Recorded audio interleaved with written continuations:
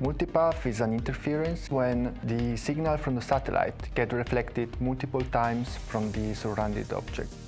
Those signals arrive together with the direct signal to the device and this causes disruption in the navigation solution calculated by the same device.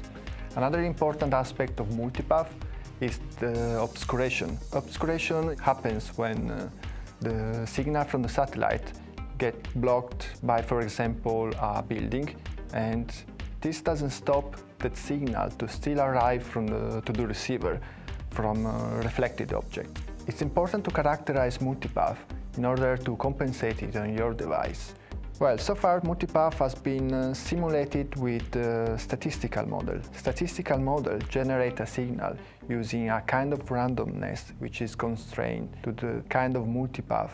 This works fine, but it doesn't reflect very well the effect in a real environment. Spirent was a collaboration with OKTAL SE, offered a unique system to simulate GNSS propagation in a true-to-life synthetic environment.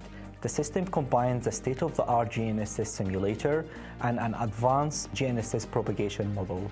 The propagation model relies on a 3D scene reconstruction of the actual real life. This allowed the generation of multipath signature that relies on the location of the device under test. SENAV implements a deterministic ray tracing algorithm on NVIDIA GPU architecture.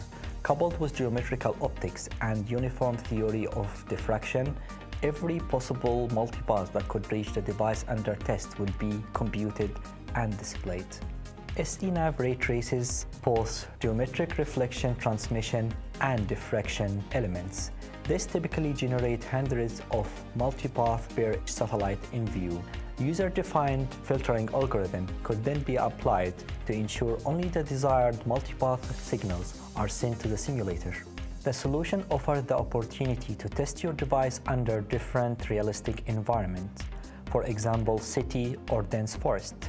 In addition, more realism could be added to the simulation by including traffic, crowd, static or dynamic objects.